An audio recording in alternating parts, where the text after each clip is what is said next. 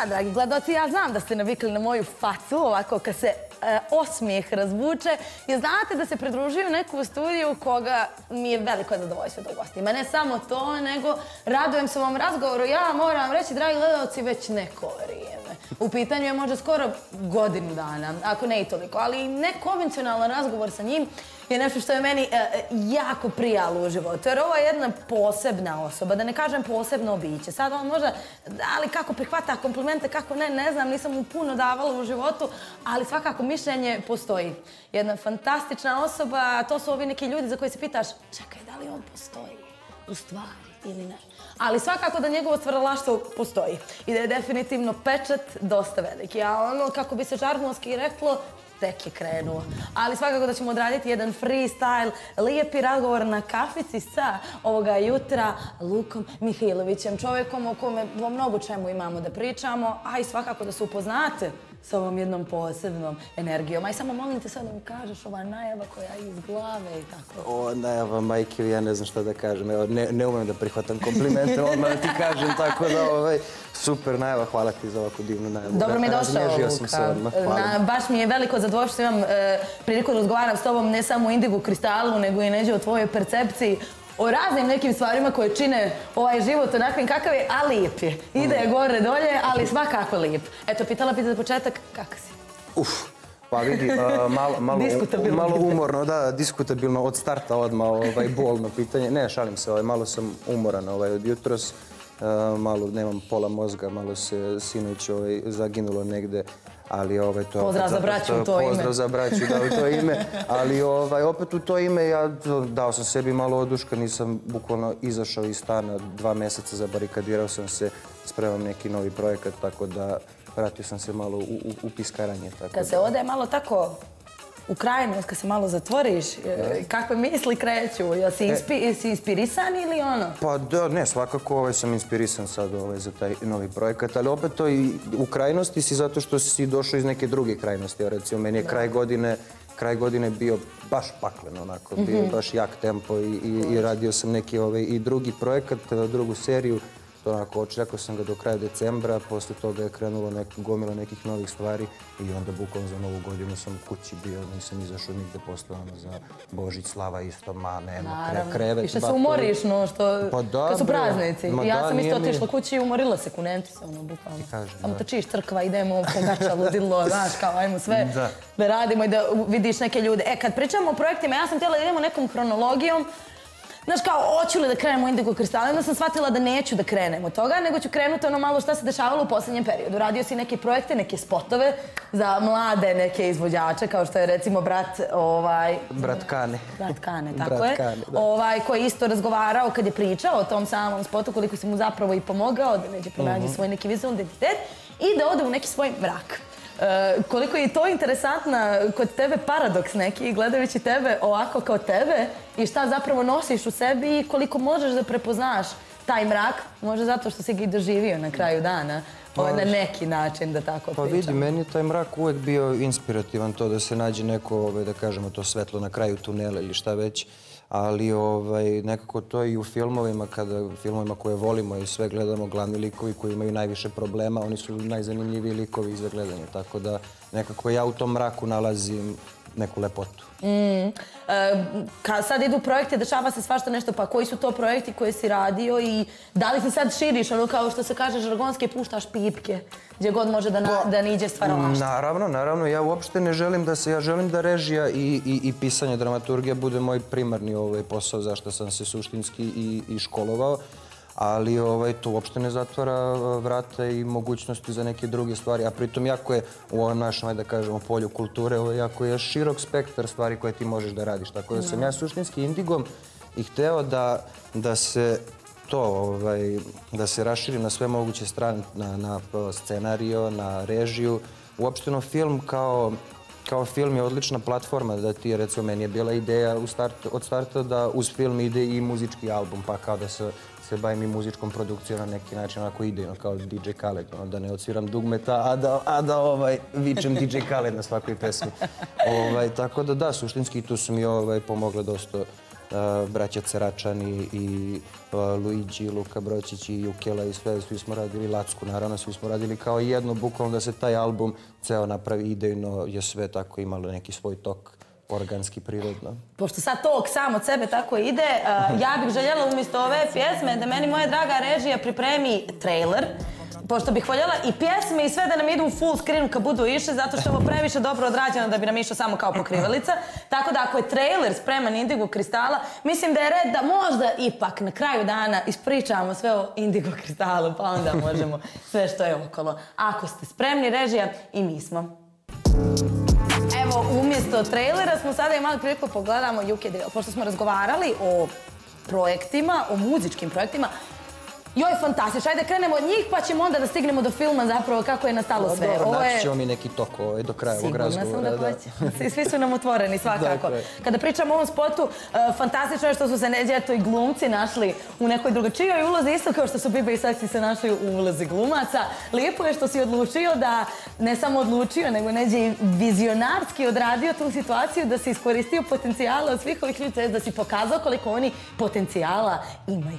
Da, za, evo ovako od početka, ovaj, što se tiče uopšte muzike, to za film, meni je bila ideja da, to je kad sam već počeo da pišem to 2018. i onda već neke 2019. se stvorila ideja da zapravo ta četiri klinca pokušavaju da svoj taj neki, ajde da kažemo, kriminalni život, da iz njega izađu kroz tu muziku i onda sam ja na neki način hteo da dovedem drill na naše prostore te neki kao 2019. godine i tako je bilo i zapravo je suštinski kao, ali drill kao pravi drill, da ljudi koji rade to, pevaju o tome i onda baš zbog toga njih četvorica zapravo te dve pesme sa albuma koje imamo izvode kao likovi iz filma. Znači nisu to Denis i Pavle, to su Zizi i Sniff i nisu Biba i Seksi, nego Nemi i Tyson. I onda u tom nekom smislu možemo da kažemo da je to pravi, pravi drill ili ti neki kao meta drill nazovi. I onda uz to su izašli još i Sloboda i Vader i i i i koja je još pesma došao remix čuveni Šabac je ceo. Da, da, da, kako ćemo to da zaboravimo, da. Ali ovaj, da, to je ideja za taj album je bila nekako da se radi real, real tvrdo i jedna najreal kultna pesma da se remiksuje i da se obradi ponovo. Tako da mislim da smo ovaj, pun pogodak na što se toga tiče. Toliko je pametno, ne samo pametno, nego opet vizionarski, opet je to jedna revolucija. U svakom smislu te reći. Okej, ja, sam, ja ću malo prećurujem, dragi gledalci, ali ja ne mogu, ja ovo doživljavam mnogo lično, me previše levela. Zašto? Zbog same tematike. Zna se da ko je nekako krenuo, što neđe rap muzika sama po sebi i govori. E, pričamo da smo krenuli ni od čega i da smo došli do nečega. Mhm. Isto je tako i sa našom braćom koja su postavila cerak na mapu, na samu mapu cvijeta na kraju dana gdje niko nije znao. Ja prva, eto, pošto nisam odavde, nisam znala kako se tamo zapravo živi. A onda opet e, vaditi iz nekog okvira svojih mogućnosti istog tog Denisa i Pavla koji su se fantastično snašli, koji na kraju dana i slušaju tu muziku na neki način. Da li žive i ne, to je manje bitno, ali svakako su rime. Recimo, molim te, su zaduženi bili svako za svoje rime, zanima me baš, je li to tako bilo ili ste se pomagali međusobno? Pavle je pisao svoje, da, Denisu su pisali i Relja. To je lijepo, znači Pavle se možda i pronašao. Pavle su pronašao, pa, Pavle je reper jedan kroz jedan, da, može time da se bavi skroz. Takav mu ego sigurno, da, ima malo reperski ego, da. Šalo na stranu. Dobro, svi imamo malo reperski ego. Ja na ovu moju priču filmsku gledam isto kao klasičnu repersku priču. Znači, samo što ja nisam repovao u svom kraju, se napravio film u svom kraju, da bi isto sve to postigao. Sami tok dovodi do ovoga, pa hoću da ti kažem, ovako javno, jedan dubok naklon za nešto što si uradio. E, ja neću zaboraviti emocije nikad na toj premijeri, ne samo moje, nego svačije. Mm. Sami doživljaj filma je bio surrealan, totalno. Mm. Zašto? Zato što si prekazao realnost, bez maske. Kroz crno-bijelu boju si prikazao e, nešto što, evo, nažalost sam i ja doživjela u svom životu i, nažalost, gubila isto prijatelje mhm. i sve one situacije koje si prikazala onako nimalo plastično, nego veoma duboko, su nešto što možeš da osjetiš. Što ti ono kao kad kažu možeš da razumiješ nekog koji je izgubio nekoga samo kad izgubiš nekoga. E mhm. sad, ovo prikazivanje odlaženja iz totalno nekog ugla od kojih se očekuje da se priča o omladini, pošto se mhm. priča, mi smo najgori. Da, da, vazda, vazda bilo. Ja baš mislim da na mladim u svijetu staje da imamo fantastične mlade ljude koji su prolazili kroz neku nevjerovatnu bol i golgotu, a da nemamo pojma. Pa evo, sad kada razgovaramo o filmu, Čekaj, toliko toga želim da te pitam, želim da te pitam. Ideja. E, ideja je svakako nešto što je tvoje, ona je nikla iz tvog života. Iz onoga, iz svog kraja, nositi svoj kraj u sebi. Ja mislim da je najbitnija stvar po svakog od nas. Kraj te uči, uh em što te uči prvo nekim principima, znaš, da poštujemo starije, da idemo starijima po vodu, da poštujemo neke krajske norme, da se zna ko ćeš idi, što kako, do onih nekih stvari koje kraj sam po sebi od one komšinice lude neke Tako je, do, tako je, tako do keve je. koja zove na ručak, do nekih e, zeznutih momaka iz kraja, starijih, mlađih, nije ni bitno. Tvoj Tako je, kraj. Ali tako, ali tako je baš i koncipiran ovaj film. Ja kad pričam, ovaj, kad mi ljudi to, to, to više ne mogu da... Šta ti inspirisalo da napravite ovaj film? Inspirisalo me je da kad se, kad se nisam dugo vratio jedan period, ovaj, ne, eh, šalu na stranu, stvarno, ovaj, baš eh, kad sam krenuo da, da studiram u Beogradu 2016. Ja sam jedno dve godine, evo, meni, meni na, na, na dušu, dve godine se nisam vraćao uopšte u Šabac i onda kada sam se vratio Ovaj, prvi put, to je prvo, grad je doživeo neku ovaj, fizičku transformaciju. Počeli su da niču neki novi mali trgovi, neke čudne kao umetničke instalacije koje meni izgledaju kao vešala. Onda ne, taj neki šareni trg koji je ceo u nekim u- u- pravugaonicima, kvadratima, trouglovima, neskladnih boja i sve, ali ja se nekako sećam tog Šapca kao starog industrijskog grada, onako, zorka, fabrika pakulja, dim iz nje, non stop, pa je sve sivo nekako. I onda sam nekom stucanu belu fotografiju zapravo teo da dam omaš tom nekom Šapcu kog se ja sećam kad sam bio, jel te, mali. A ovaj, i taj moment gde sve je tvoje ostalo tamo, tvoja mladost, da kažu, tvoj ono ceo život i onda kad se vratiš nekako i sve je isto, a i nije isto, jesi ti isti se promenio ili su se svi promenili ili ti ne, nekako ceo taj naboj emocija je bila zapravo ta inicijalna kapista da krene da se piše priča o povratniku i sada bi to imala težinu, da onda to bude povratnik iz zatvora koji izlazi nakon 8 godina, koji je izgubio svoju mladost zapravo i onda pokušava ponovo da stane na nogi i da živi nekim normalnim životom koji hoće, ali ga sve to vuče nazad.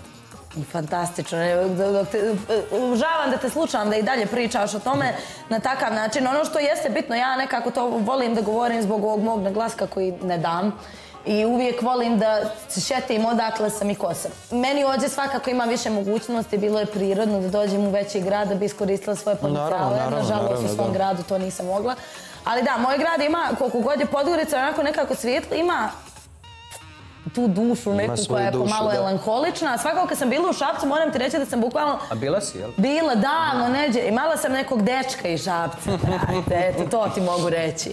Ovaj, ali bila sam i, bilo mi je čudno jer je nekako prijatno, ljudi su ekstremno prijatni i, i lagani, ali melanholično jako nekako. Ne, ne mogu ti objasnim. Meni su do duše mnogi gradovi po Srbiji imaju tu neku svoju tugu koja je opet potkrepljena fantastičnim ljudima. Isto kao kad ljudi kažu nešto za Vojvođane. Ja Vojvođani i Vojvođane obožavam. Da, Meni da, su to da, najjači ljudi. I ja bukvalno nemam ništa da kažem loše veze na to. Ali naravno, u sebi nosimo svoj kraj. I sad cast je svakako fantastičan. E, Molim te mi reci je- kako, kako se to u tvojoj glavi sve desilo? Pa, da je to bukvalno to desilo se u glavi. Znači, bukvalno malte ne je svaki lik, uh, svaki, svi glavni likovi, a ja kad kažem glavni likovi, tu, tu smatram njih 12, bukvalno iz filma. Da. Ovaj, svi su pisani za likove koji su igrali na kraju.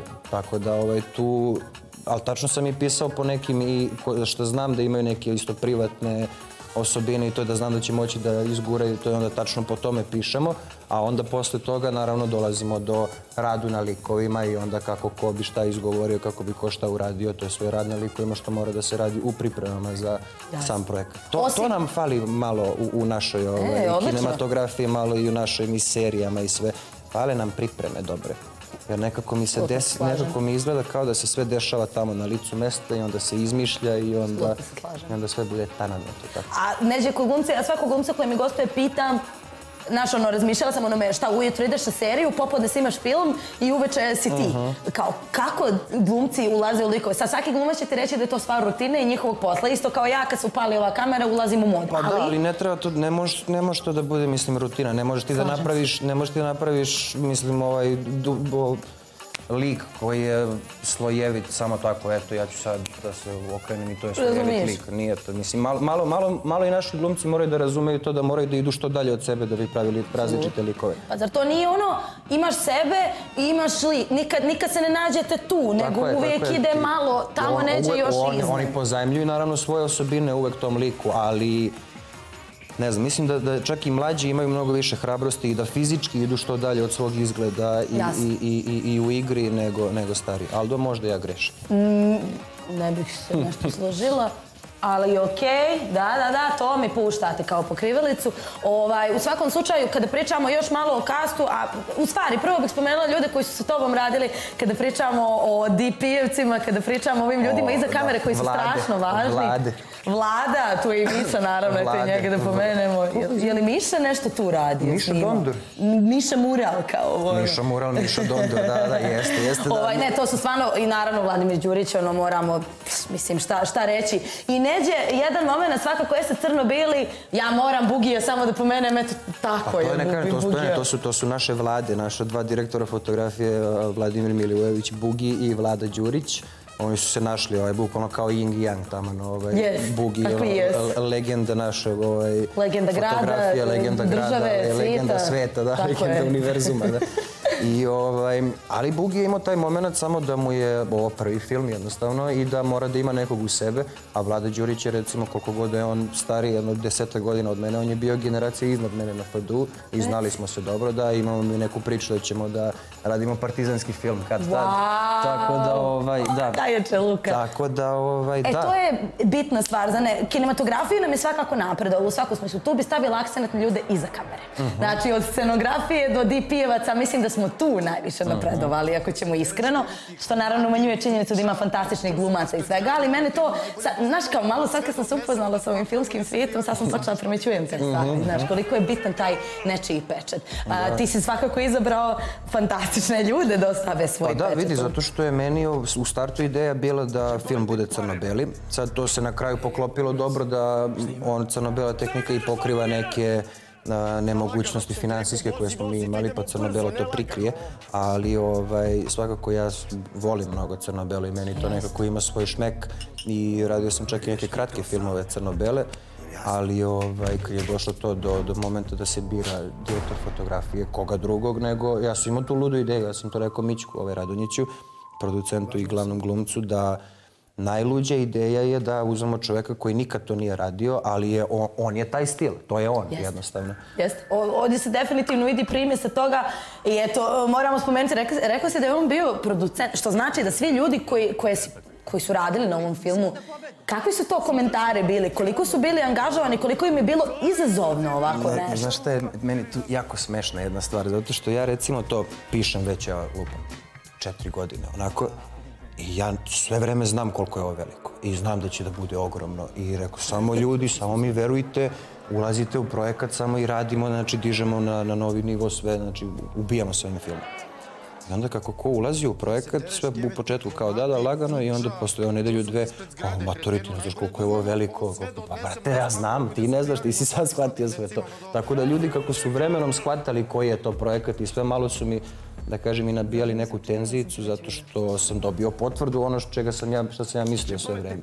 Ali ovaj, svi su se angažovali maksimalno, to mi je ovaj, jako drago zato što Ovo nije bio onaj projekat gdje imamo milione i milione i svi ćete da budete plaćeni u, u, milionima i milionima, nego je ovo bio bukvalno projekat gdje su se svi navukli na priču od starta. Jer je priča istina. Na priču, na, na priču, na stil, na, na, na uopšte šta sam ja na želeo time. Simbioza fantastičnih glumaca koji već imaju karijere. Da, ozbiljne da, da. I da, da, da. ljudi koji su, imamo mlade glumce i imamo tu na sve to Bibu i Seksija, do čega dolazi i sad želim da te pitam nešto, to je da kažem javno. Uh -huh. Luka Mihilović, ti si uspio nešto što niko nikada nije. A to da učiniš Relju Despotovića da čuta.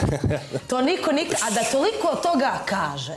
Ono što je lijepo jeste što si prepoznao, eto, Relje je također se ostvario jednom, boga mi, težom ulogom u nedelju u smislu, to je bila kratka ulogica, ali treba izglumiti ono što je on mhm. izglumio jer je teška priča. Uh, ali svakako prepoznao si nešto zaista veliko u njima, to je jedan talent. Mislim da su ljudi na sceni generalno multimedijalne ličnosti i da mm, u procentu jako često mogu svašta nešto da, da rade. Da, pogotovo ako su samouki. Tako je. I ti si prepoznao nešto u njih dvojici, nešto što sad ovu priču čini onime što jeste, to jesu momci iz kraja koji svoju krajsku priču pričaju. Ko će drugi bolje to da e, prenese, e, tu, tu, tu dolazimo bukvalno do, ovaj, do, do ključne tačke uopšte kako su oni dobili ovaj, uloge i, i, i kako su savršeno to odigrali na kraju dana. I postali ste prijatelji, što je najljepše od svega na kraju dana. Meni je upravo to najljepše od svega što ja i dan danas kad naletim na neke ljude koji su radili na, na mom projektu, oni dalje pričaju o tom snimanju. Tako da o snimanju tog filma se i dalje priča, što je meni onako ogromna čast. Ne znam, mislim, ja nisam čuo da su u nekom drugom snimanju priča toliko, ne kao o projektu. A ovaj, da se vratimo na, na, na Ceračane, opet tu dolazimo do onog momenta gdje sam ja imao ideju da, da, da se radi muzika i preko sad opet, to je, to je opet sve tako organski išlo. Znači, moj kolega koji je snimio svoj film je radio sa Lukom Broćićem muziku za svoj film. Mm -hmm. I bukvalno kroz tu neku konekciju se dešava da ja dolazim da do studija, da pričam sa njima o muzici. Ja sam ništa imao, bez Luigija, samo da kažem. Ništa bez Luigija, da, da. da. ovaj, ja sam imao napisana ta dva lika i imao sam podeljene uh, Denisa i Pavla. I sad falila su mi druga dva lika krajska. A jako je teško naći mlade glumce koji znaju da igraju ulicu, a da ne pokazuju ulicu. I onda kad, mislim, meni to baš smeta u, u gomili ove domaćih produkcije koje se bave kriminalom. Jednostavno, jednostavno samo da, nećemo, da... Ne moramo da... Kako volim kad čovjek ne mora riječ da upotrebi, nego pa da, reakcija je dovoljna. Pa ne, nego mislim... Površno je, e, veoma, jednostavno. Živimo u takvom prostoru da ne smiješ da kažeš ništa, što suštinski sujeta je ogromna. Ovaj, e, da, i došli smo do toga, da, ja sam imao njega napisanog nemog kao lika koji ne progovara i Tysona, lika koji valja ispred e, frizerskog salona i udara svakome macolu koji izađe napolje. To su bili opisi za ta dva lika. I dolazim tamo, pričamo oko muzici, pričamo sve, reko, to je Chicago drill, to je UK drill, dolazimo pravo priču, ložimo se sve. I oni hoće, relje hoće da glumi. Ja ga gledam onako, ali znaš šta je, e, moj posao je suštinski samo donošenje odluka reditelj suštinski kao ne radi ništa, ali radi sve.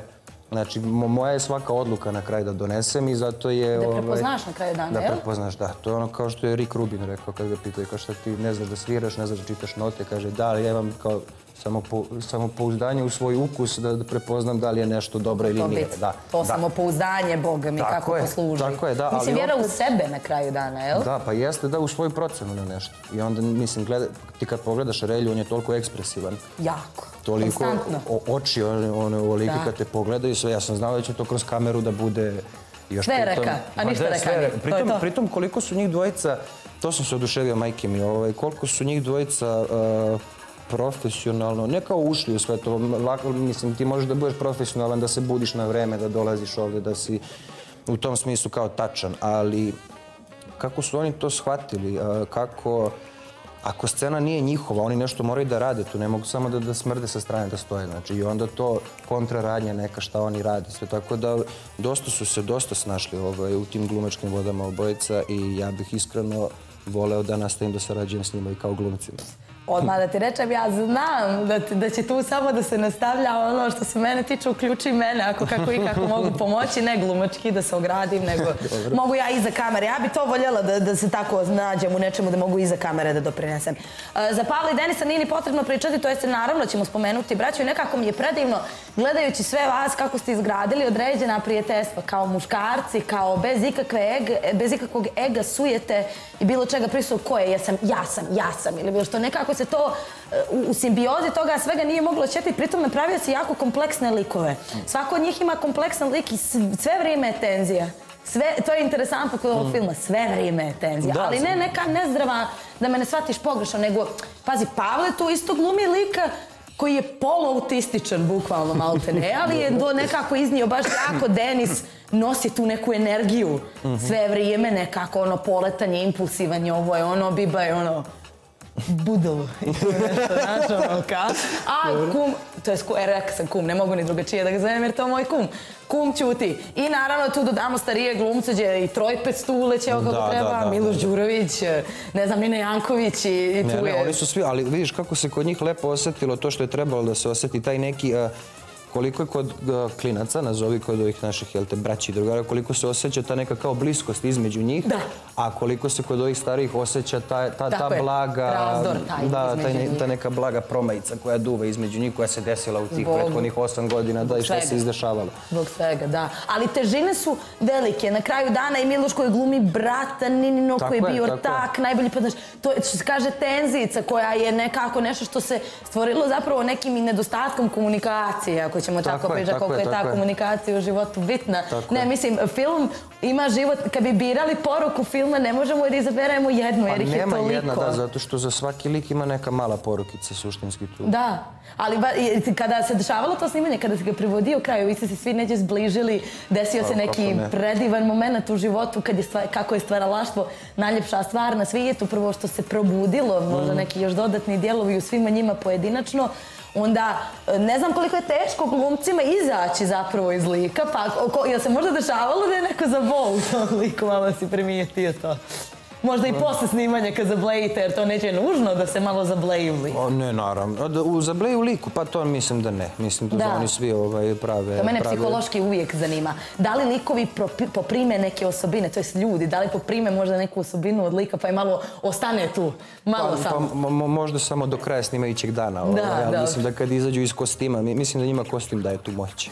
Koliko je taj kostim isto bio bitan, koliko je bitan taj vizualni identitet koji si tio da prikažeš onako zapravo za šta je bilo, to je zapravo krajski jedan Pa moment. da, da, Crna. jako je. Ja, ne, ne, pa bitno je, meni je kostim bitan u, sušt, u tom smislu da je, ja sam hteo da opet ovaj, na, na neki način tu kroz taj film pokažem i te neke uh, subkulture tih klinaca i onda način na koji se oni oblače, lupom imaš ovog Pajgli i Mike, oni su, da, da kažemo, neki hipsteri, a ovamo imaš ove kao naše male gasere, onda ima tako da. I ovaj, samo mi je, mislim, nije mi krivo, nego jednostavno nije, nije, nije ova priča, uh, filmska priča nije tako eh, podobno da se pravi toliko široko ovaj, i na široko stvari, ali ovaj, vidjet ćemo možda to bude prilike za, za nešto drugo. Revolucija je svakako prisutna tu da se uzme. Kada pričamo o samoj premijeri, e, razni ljudi su bili od raznih poznatih ličnosti, od, do raznih nekih akademskih građana i ozbiljnih ljudi u svakom smislu. Kako se sjećaš te premijere i e, da uporedimo tu premijeru tada i sada, pošto utisci dalje postoje od strane raznih ljudi, i raznih mišljenja i raznih Doduše, ja sam i moje majki poslala, razumiješ, to mora svako i treba svako da pogleda, da iz svakog ugla imaš neko mišljenje, pa ajde da napravimo neko poređenje tog dana. Samo to sad kad si spomenula ovaj, uh, majku, pa kao tako uh, starije ovaj, gledalci. Ja bih samo voleo da pošto će evo sada uskoro da bude i televizijska premijera ovog filma konačno. Važno spomenuti gdje i kako naši ne, ne, gledalci- ne mogu više da se, ovaj, pošto i ovako ne odgovaram na, na, na Instagram poruke nikome, ovaj ko pokušava da slajduje i to, ali evo konačno svi koji su pitali ikada 3. 3. februara u uh, 10 časova Indigo Crystal RTS 1. RTS 1 Indigo Kristal 22H, je li tako? Tako na večernji termin, to Tako jeste je, termin za Indigo Kristal. Da, da, da, da mo- mora, mora u tom terminu da se E, pušta. To je... To je fantastično Da, dostignuće. da, da, hvala lepo i sada ja se stvarno nadam da sada počinje jedan potpuno novi život filma i da se nadovežem na ovo malo pre, voleo bi da a, stariji ljudi otvorenog srca pogledaju ovaj film bez predrasuda. Jeste da možda im to u startu odmah deluje nekako, ali to nisu deca koja ne postoje, to su njihova deca. Tako da moraju, moraju to da, da gledaju Apsolutno. i moraju da znaju šta se Da dešava. možda malo usput, evo super jedan psihološki moment koji imamo, da možda malo usput roditelji imaju veće razumijevanje za to šta ulica djetetu Pa može da donese. Svakako i da imaju razumevanja i svakako da, da znaju ako im, i oni imaju dete koje šeta istim tim ulicama. Ulica nije samo kriminal, ulica je ona druga strana novčića života. Znači, Ja bez tog nekog, bez te neke ulice, boga mi ne bih mogla... ulica je neki javni život bez kamera, recimo. Javni život bez kamera i onako, koliko god ulica može biti teška priča, dosta te uči nekim principima i da se na kraju dana zauzmeš za Pa sebe da ne, i da da znaš da braniš sebe na kraju dana. Tako da sam ja na njoj zahvalna, iskreno ti budem. Koliko sam i na obrazovanju, toliko sam i njoj jesam, zahvalna. jesam, da, jesam. I dan danas nekako Znaš kako priča. čoveka čine ono kućno vaspitanje i ulično vaspitanje. I to je to. A kad imaš oba, to može onda biti jedna dobitna kombinacija. ajde tako da Pa Mo- kažem. mora biti dobitna kombinacija, da. Ali da, sad kad ti se sve, jer sad možemo stvarno reći da ti se sve slego, skoro dvije godine od početka snimanja i skoro godinu dana o, od same premijere. Da, evo sad će biti za 10 dana će da bude des, dve, deset godine, dve godine od, od početka snimanja, a za nedelju dana je godinu dana od premijere, tako da Pa vidim, e, nije mi se još sleglo sve, zato što bila je prvo, ovaj film je imao svoj život, evo do, do skoro je imao svoj bioskopski život i festivalski, tako da ovaj, sad ovaj televizijski život je potpuno nešto novo. Ovde, ovde odlaze ljudi koji žele da gledaju, ode kup, odu kupe karte, gledaju film.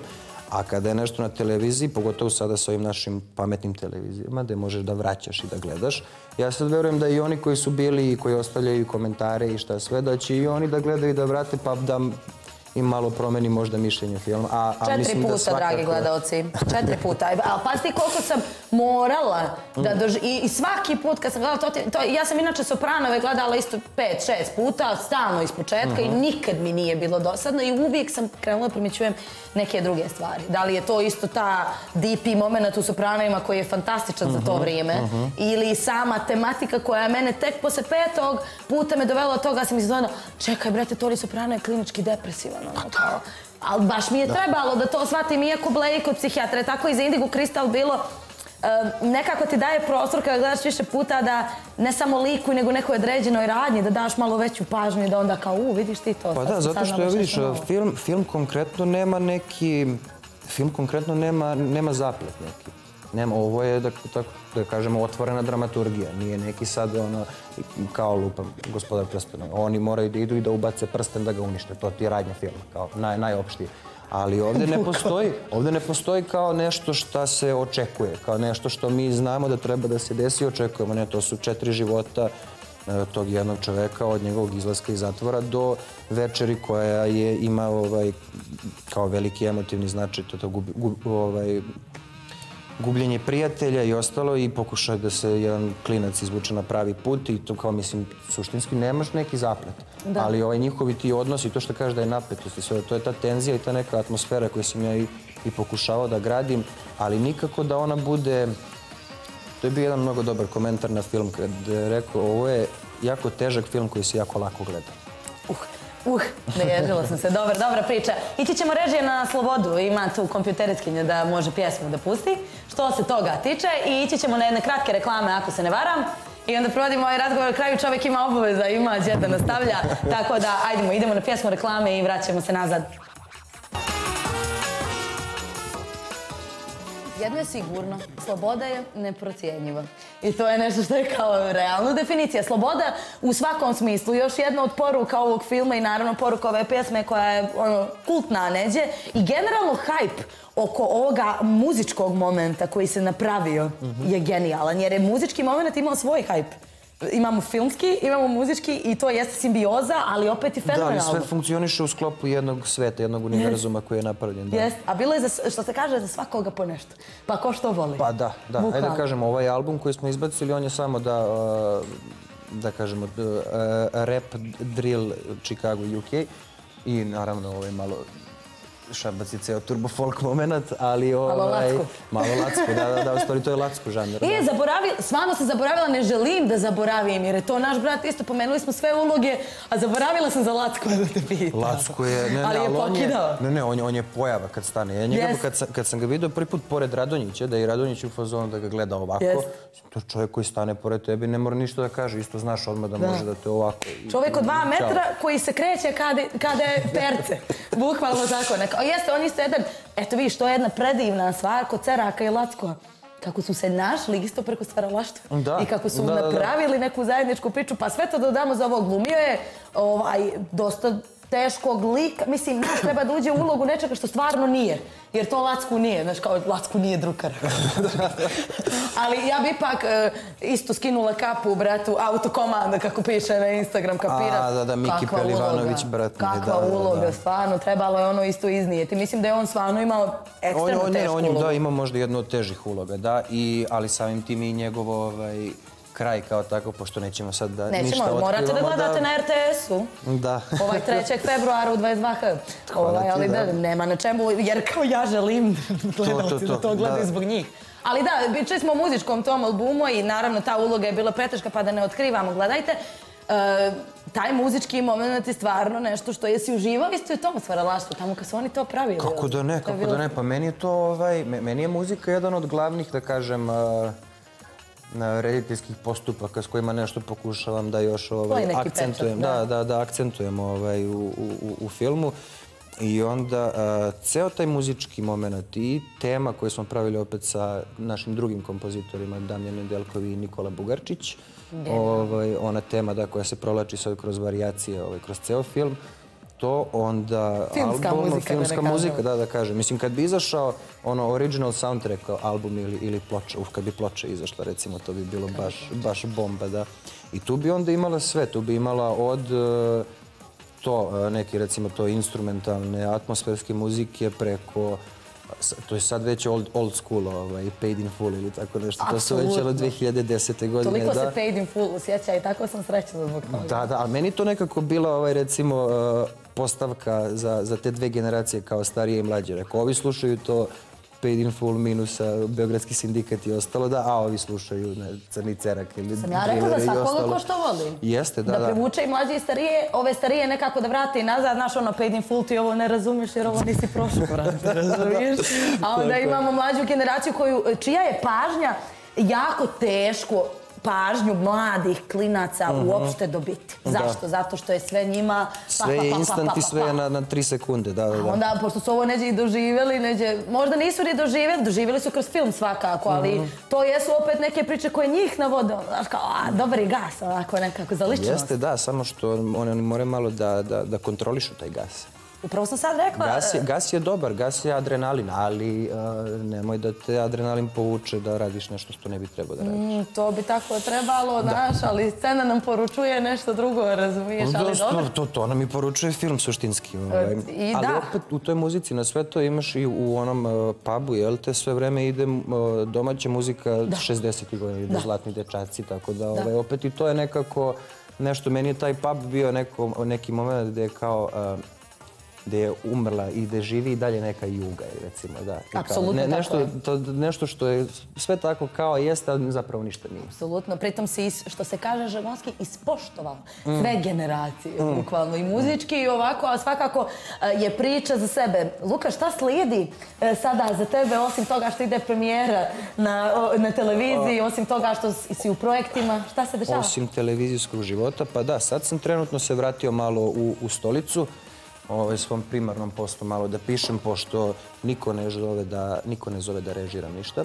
Ovaj, tako da kažem. moram sam sebi da, da, da pišem da bi režirao. Da. Ovaj, Još je teška godina iza nas, moram reći ovako, u glavi teška, mnogo nekih dešavanja, možemo slobodno reći užasnih. E, Teška godina ovako psihički neđe i posljedice korone, blokada, dosta sigurna sam u svačijoj glavi, ali koliko sad kad je prošlo, kad smo ušli u novu, Ne, što se toga tiče kao blokade i inspiracije, ne manjka toga. Toga ima uvek.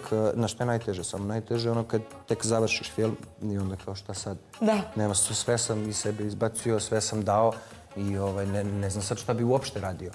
Tako da, ovaj, ali ja ovaj, imam taj neki balans da, da dok radim i pišem nešto svoje, onda volim da odšljakam to neki drugi projekat u, u sektoru režije, samo čisto da budem to, jer ja, ja sam filmski radnik. Ja sam ovaj počeo, ja sam počeo tako što sam ono, motokablove na, na, na američkim snimanjima i ostalo. Nije me bio, ja tako perem svoju sujetu. Meni najmanji problem da kao scenarista i reditelj ovaj, veoma uspešnog filma, mladi lik, levo, desno i, i kao meni je bilo malo teško kad me niko nije zvao da, da budem asistent režije nakon filma. Jer Jasno. svi kao sad si ti kao reditelj, sad ti nećeš, a, a, a niko mene zove ni da režira. Da. Ja živim od vazduha. Tako da, ovaj, da. kad smo već kod svijeta filmskog i kako se živi, eto, e, mora da se, ali dobro, ali onda je opet, Može da se živi jako lepo, samo ovaj, mislim, i mislim da će biti sve više i više prilika. Mislim da se ovdje otvorilo, da, otvorilo jedno polje gde ovaj, do duše dosta toga se radi i za strance.